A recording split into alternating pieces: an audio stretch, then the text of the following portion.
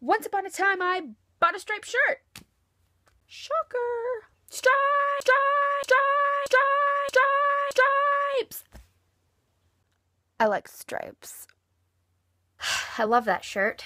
It's awesome, right? It makes me look like a prisoner. Grr. One day, I wore it to an outdoor dirty hippie festival. I should just stop there. We laughed. We watched music. We stared at hippies.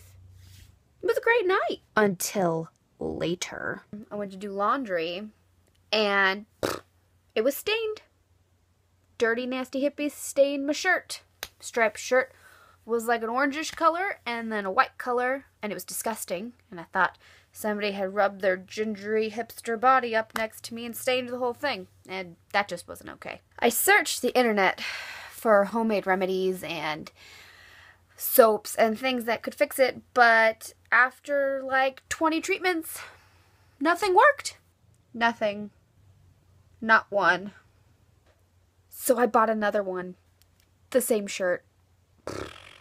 When shirt number two arrived, I realized it was the same shirt.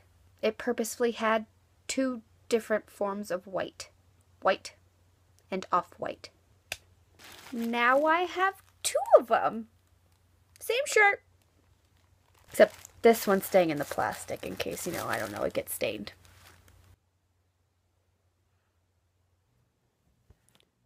Bye.